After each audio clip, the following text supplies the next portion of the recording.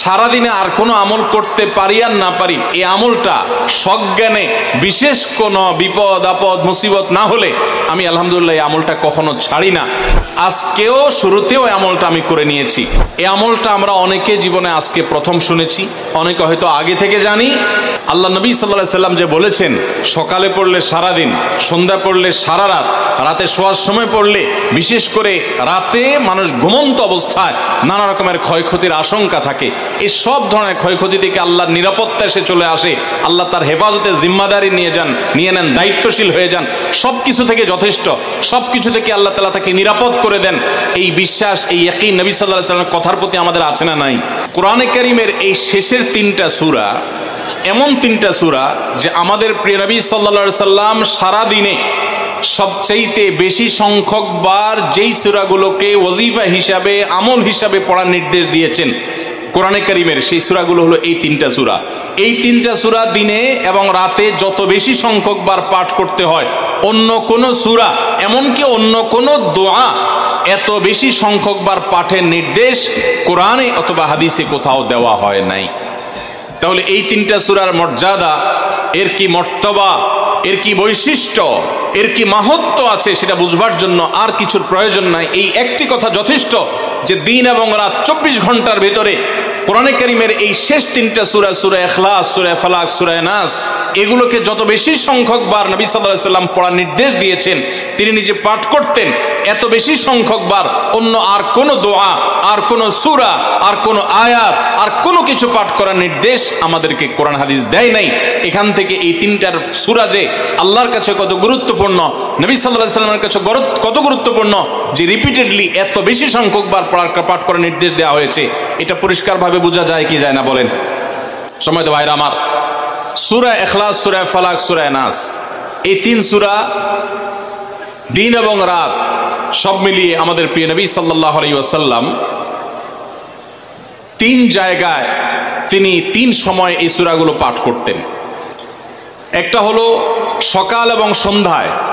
সকাল এবং সন্ধ্যায়। নবী করিম সাল্লা সাল্লাম তিন কুল পড়তেন। এটাকে সংক্ষেপে বলা হয় তিন কুল। যেহেতু তিন সুরা শুরুতে কুল শব্দটা আছে এই জন্য সংক্ষেপে বলা হয় তিন কুল।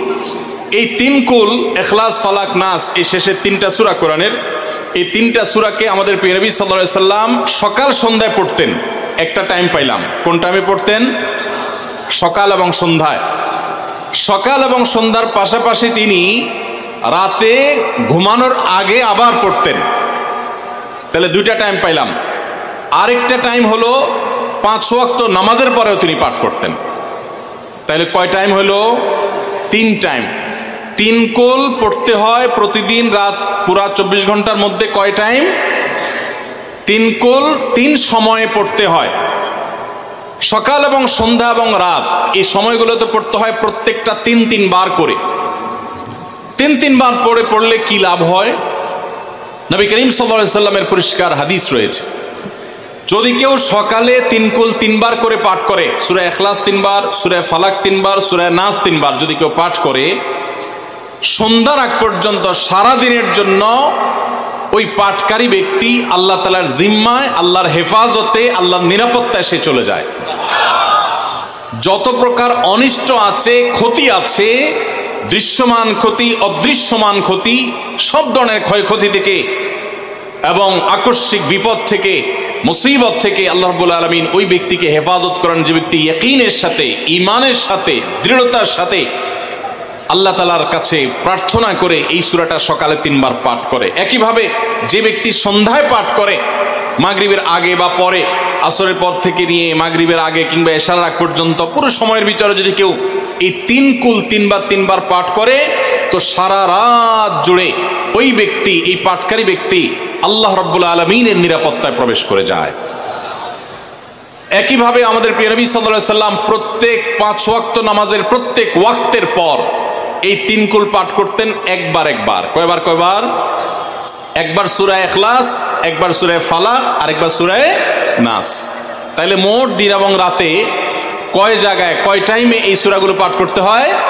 তিন টাইম একটা হলো সকাল সন্ধ্যায়, আরেকটা হলো রাতে শোয়ার আগে, আরেকটা হলো পাঁচ ওয়াক্ত নামাজের পাঁচক্ত নামাজের পরে একবার করে, একবার সুরায় এখলাস একবার সুরায় ফালাক, একবার সুরায় নাস। ফজরের পরে, আবার জোহরের পরে, আবার আসরের পরে, আবার মাগরির পরে, আবার এশারের পরে। তাহলে দিন এবং রাত চব্বিশ ঘন্টায় এই তিন কুল কত বেশি গুরুত্বপূর্ণ হলে কোরআনের অন্য কোনো সুরা, অন্য কোনো আয়াত এত বেশি জায়গায়, এত বিভিন্ন জায়গায়, বিভিন্ন সময় নবী সাল্লাহ সাল্লাম এত সংখ্যকবার আমাদেরকে পাঠের নির্দেশ দেন নাই। এখান থেকে বোঝা যায় এই সুরাগুলো কত গুরুত্বপূর্ণ, কত প্রয়োজনীয় এবং কত ফজিলত এবং মর্যাদাপূর্ণ। ভাইরা আমার, দিন এবং রাত চব্বিশ ঘণ্টার ভিতরে তিন সময় এই সুরাগুলো মোট কতবার পাঠ করা হয়? আসুন আমরা হিসাব করি। সকাল, সন্ধ্যা এবং রাতে তিন, তিনবার করে যদি পাঠ করা হয়, তাহলে কয়বার হলো? নয়বার করে। সকালে তিনবার, সন্ধ্যায় তিনবার, রাতে তিনবার। তাহলে মোট কয়বার হলো? নয় বার আর পাঁচক্ত নামাজের পরে পাঁচবার। কয়বার হলো? নয় আর পাঁচে কত? চোদ্দ। সুরা এখলাস দিনে কয়বার পড়তে হয় কমপক্ষে? চোদ্দ বার পাঠ করা সুন্না সুরায় ফালাক দিনে চোদ্দ বার পাঠ করা সুন্না সুরায় নাস দিনে চোদ্দ বার পাঠ করা এটা সুন্নাত। নবী সাল্লা সাল্লামের। এই আমলটা আমরা অনেকে জীবনে আজকে প্রথম শুনেছি, অনেকে হয়তো আগে থেকে জানি। আমি এই ফজিলত এবং মর্যাদার কথা যে বললাম আল্লাহ নবী সাল্লাহ সাল্লাম যে বলেছেন, সকালে পড়লে সারা দিন সন্ধ্যা পড়লে সারা রাত, রাতে শোয়ার সময় পড়লে বিশেষ করে রাতে মানুষ ঘুমন্ত অবস্থায় নানা রকমের ক্ষয়ক্ষতির আশঙ্কা থাকে। এই সব ধরনের ক্ষয়ক্ষতি থেকে আল্লাহর নিরাপত্তা এসে চলে আসে, আল্লাহ তার হেফাজতে জিম্মাদারি নিয়ে যান, নিয়ে নেন, দায়িত্বশীল হয়ে যান। সব কিছু থেকে যথেষ্ট সব কিছু থেকে আল্লাহ তালা তাকে নিরাপদ করে দেন।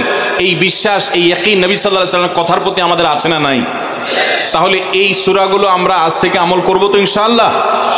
এই তিন কোল সকাল, সন্ধ্যায় এবং রাতে ঘুমানোর আগে, রাতে ঘুমানোর আগে এটা পাঠ করার একটা বিশেষ পদ্ধতি আছে। সেটা হলো, নবী করিম সাল্লাম শিক্ষা দিয়েছেন এই তিন কুল, সুরা এখলাস তিনবার পড়বেন, সুরা ফালাক তিনবার পড়বেন, সুরা নাস তিনবার পড়বেন। পড়ে দুই হাতকে এরকম কোষ করবেন।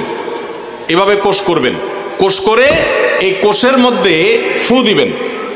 নিজের কোষের ভিতরে তিনবার পড়ে ফু দিয়ে এরপর সেটাকে পুরা শরীরের মধ্যে মুছে ফেলবেন। যেখানে যেখানে হাত নেওয়া সম্ভব হয়। শরীরের যতটুকু জায়গায় হাত নেওয়া সম্ভব হয়, সামনে পেছনে চেষ্টা করে যতটুকু সম্ভব হয়, ততটুকু মাসা করবেন, মুছবেন হাত দিয়ে। এর মাধ্যমে আল্লাহ তালা আপনাকে হেফাজত করবেন। ছোট ছোট বাচ্চা যারা আছে, দুধের শিশু, দুই বছর, চার বছর, ছয় বছর, যারা পড়তে পারে না এখনও বা মুখস্থ নাই সে বাচ্চাদেরকে মা বাবা বা তাদের কাছের কোনো লোকজন তারা পড়ে তিনবার ফু দিবেন। আবার তিনবার পড়ে নিজের ছেলে মেয়ের সবার শরীরে ফু দিয়েন না। প্রত্যেকের জন্য তিনবার। আপনারটা আপনি করবেন, বাচ্চাটা বাচ্চাকে করে দিবেন। এই আমলগুলো